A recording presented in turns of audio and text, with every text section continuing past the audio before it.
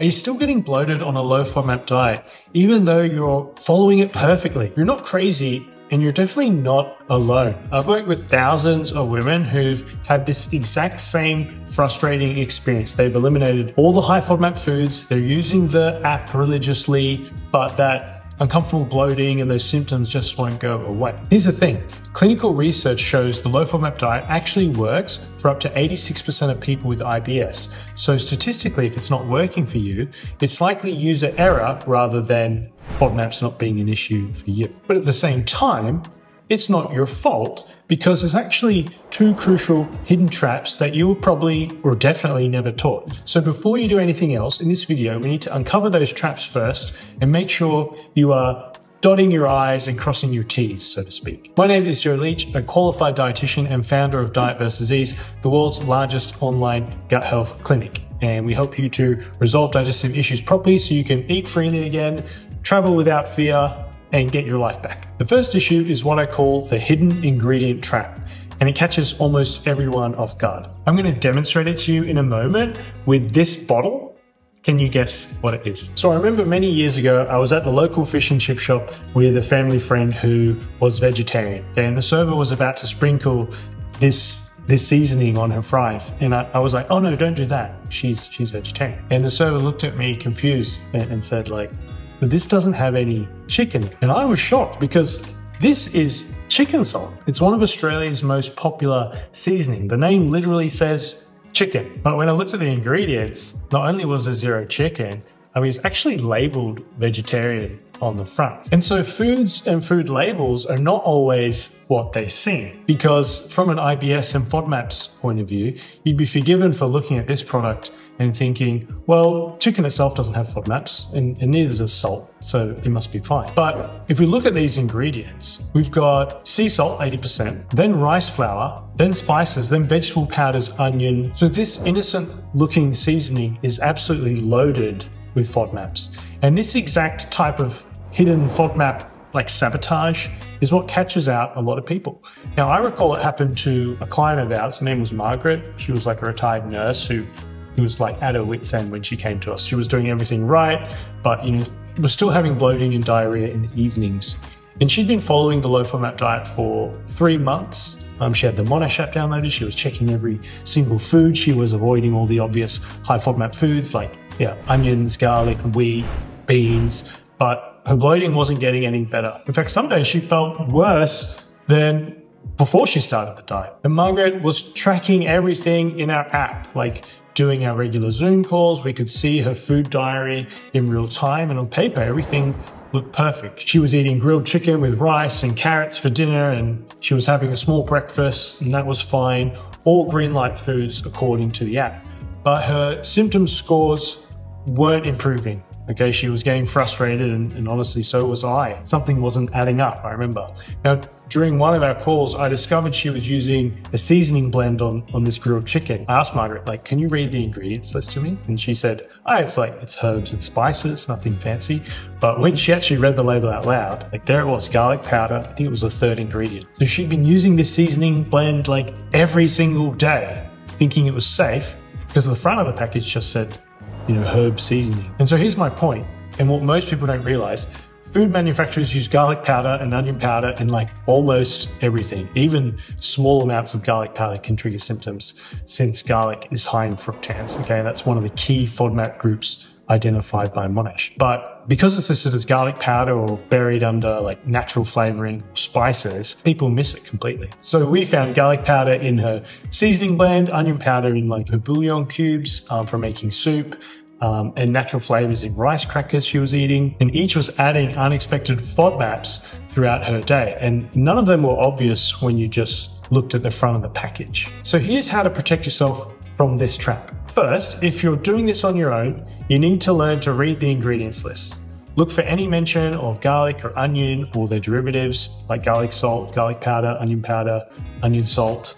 Uh, second is to be suspicious of anything that says natural flavoring or spice blend without listing the specific spices because they can contain garlic and onion too. The third thing is to watch out for stock or bouillon cubes, um, seasoning packets, marinades, and sauces. These are the biggest culprits. Now, back to Margaret. So within one week of eliminating all of these hidden FODMAP sources, her evening symptoms, like they just about disappeared. I remember the relief she felt because she finally felt like the elimination phase of the diet was working how it was supposed to, the way everyone else said it should work. And I was relieved too. Now, if you're realizing you might be falling into this same hidden ingredient trap and you want help navigating this, um, comment Sure Pathway below or click link one in the description to learn about our signature for Sure Pathway that helps guide you through this process step by step.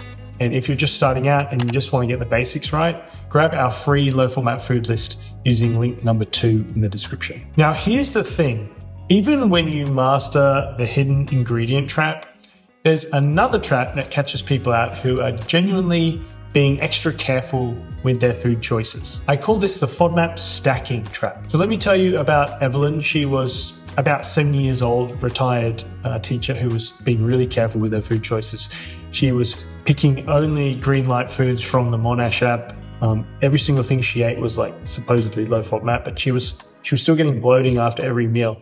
And during our calls, I mean, we'd look at her food tracking together in our app, and everything looked perfect on paper. She was so confused and started to think the diet just didn't work for her. And here's what Evelyn didn't understand and what so many people miss completely. Think of your FODMAP tolerance like a coffee cup, okay? Each person's cup is a different size. Some people have a large travel mug that can handle a lot, and others have a delicate teacup overflows easily. Now, if you add coffee slowly, drop by drop, even the small cup stays fine. But pour in too much too quickly, and even the large mug will overflow and make a mess. And that's exactly what was happening with Evelyn's meals.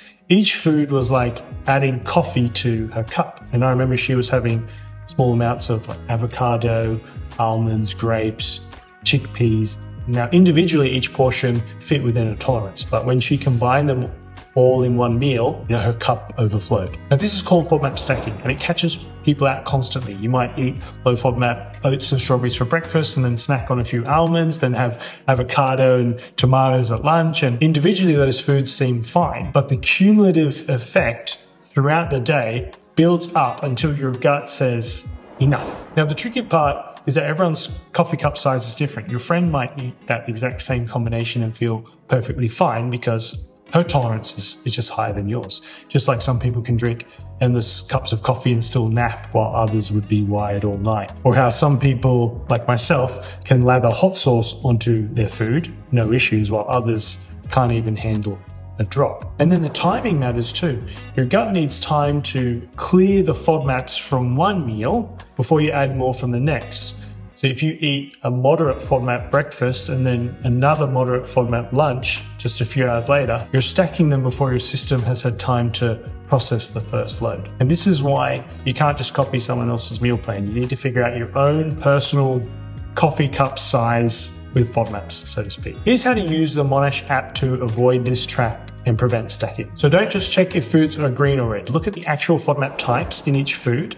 If you're having avocado, which has sorbitol, maybe skip the stone fruits later in the day since they also contain sorbitol. Or if you're having rolled oats, be careful about adding other like oligosaccharide containing foods to the same meal. You also should track your symptoms across the whole day, okay? Not just foods, symptoms as well. This is why we have an app we use with clients to track everything so we can see in real time on our end and it allows us to look at patterns and connect the dots between food intake and symptoms. So back to Evelyn. So during our sessions, um, I helped her to space out her FODMAP intake throughout the day. So in many instances, she could eat the same foods, the same total amounts, but we spread it out so her, her gut could handle them better. And like within you know, several weeks of making these changes, Evelyn's bloating just about went away. She was amazed that such a simple adjustment um, made such a huge difference. She didn't have to eliminate any foods completely either. She just had to be smarter about timing in combinations. And that's exactly what we help people figure out. Your personal FODMAP tolerance and how to work within it without unnecessary restriction. If you want that kind of personalized guidance to master both the hidden ingredients and the FODMAP stacking concept, Click link one in the description or comment Sure Pathway below to learn more about our For Sure methodology. And if you're still figuring out which foods are safe for you in the first place, start with our low FODMAP food list. That's link number two in the description. Whew, okay, that was a lot. So let me bring this all together for you. If you're still having a lot of symptoms on a low FODMAP diet, despite following it, you know, perfectly, you're likely falling into one of these two hidden traps, okay? So trap number one was the hidden ingredient trap. So garlic powder, onion powder, natural flavoring, they could be sneaking FODMAPs into your supposedly safe meals. And trap number two was the FODMAP stacking trap, okay? So you're eating only green light foods, but you're combining too many of them in one meal or too close together. Now, remember at the start of this video, I said that statistically, low FODMAP works for 86% of people, but that does leave 14% where low FODMAP is not the solution or is at least certainly not like the full picture. And that's because sometimes the real problem isn't just what you're eating. Sometimes it's what's happening inside your body that's making you react to even safe foods. So it could be triggered by like chronic stress and anxiety, uh, what's often referred to as the gut brain connection or a highly sensitive vagus nerve. I'll make sure to link to a video on that topic that will appear somewhere here um, if you want to learn more. But for others, the culprit could be SIBO, which is small intestinal bacterial overgrowth which we explore here in this next video. Lastly, be sure to like this video if you found it useful, it really helps the channel out, and subscribe um, so that you can watch our newest videos.